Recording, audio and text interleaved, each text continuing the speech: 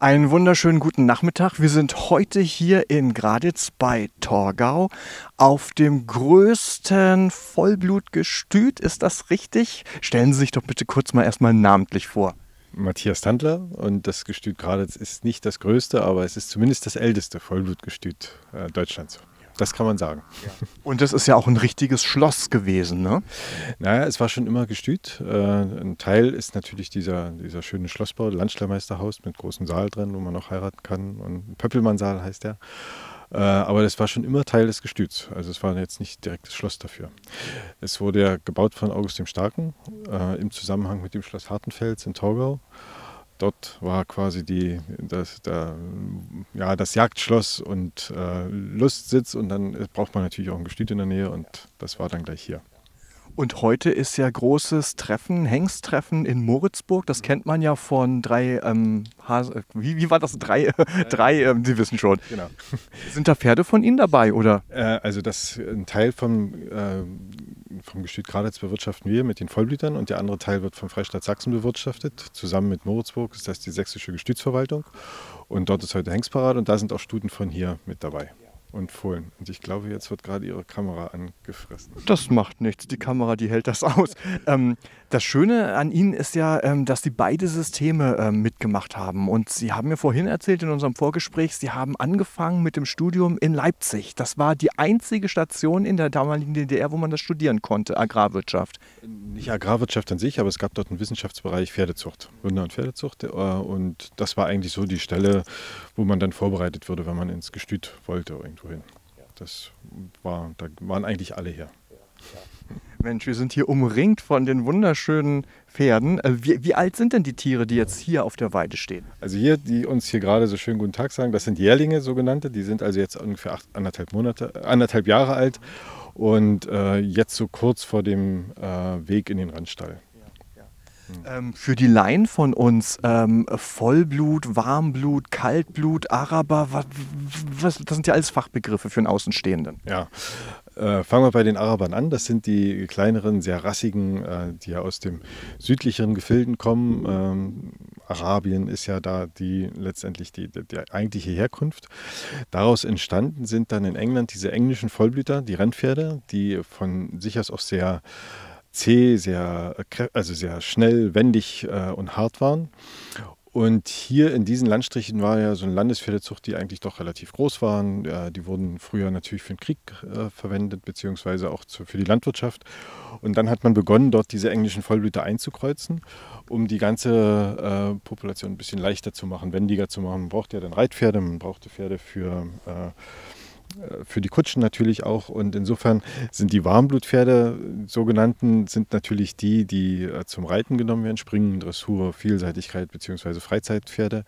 Die englischen Vollblüter, wie wir sie hier sehen, äh, die gehen dann klassisch auf die Rennbahn, laufen dort also kleine, große, mittlere Distanzen und äh, die Kutschpferde sind meistens ein bisschen äh, schwerer, ein bisschen größer. Schwere Warmblut zum Beispiel ist dafür äh, gut geeignet. Das gibt es auch ganz viele hier in Sachsen, auch gerade in Moritzburg wird das äh, sehr ordentlich betrieben und da kommt auch die Queen öfter mal einkaufen. Und ja, ja. Das, wenn Sie also dann so die großen äh, Kutschen sehen, dann kann das durchaus hier aus Sachsen sein. Irre. Also das heißt, ähm, viel Werbung brauchen Sie eigentlich gar nicht machen, weil Sie in der Szene schon eine irre Reputation haben. Graditz an sich ist auch gerade in der Vollblutzucht, war ja mal eins der ganz, ganz äh, wenigen erfolgreichen Vollblutgestüte. Hier aus Graditz sind zwölf äh, gesamtdeutsche Derbysieger gekommen, zwischen Ende 19. Jahrhundert bis zum Zweiten Weltkrieg.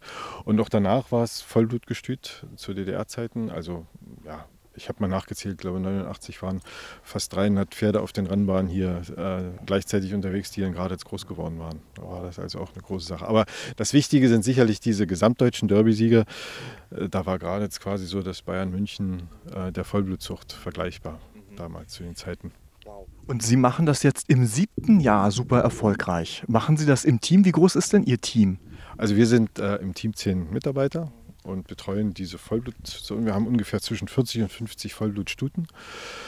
Und daraus die Nachzucht, das sind also so im Jahr um die 30 äh, Fohlen, die dann geboren werden. Und ja, und dann irgendwann nach anderthalb Jahren sind sie so groß wie die Kameraden jetzt hier und dann langsam reif für die Schule sozusagen. Die gehen dann in die Rennstelle und müssen dann langsam mit Messer und Gabeln essen lernen. Und ähm, ich meine, diese Leidenschaft für Pferde, woher kommt die? Äh, kommt die von aus der Kindheit oder haben Sie Black Beauty gesehen, auch in der DDR oder woher kam das?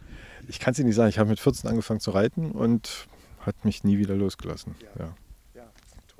Ähm, kann man denn bei so einem Betrieb sagen, dass man sich da Ziele steckt irgendwie? Ähm, haben Sie irgendwelche Ziele? Natürlich die Maintenance, also die, ich sag mal, die Aufrechterhaltung des Gutes, die ganzen Stallungen etc. Das ist ja auch ein Irrsinnsaufwand, denke ich mal.